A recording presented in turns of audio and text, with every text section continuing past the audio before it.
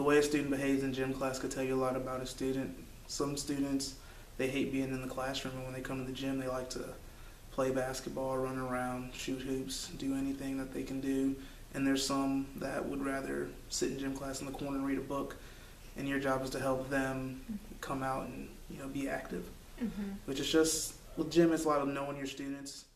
I've learned in gym that you, every student is going to be different on the way they do skills. You can't judge a student based on what the average is or what the best person does, just based on how they do it.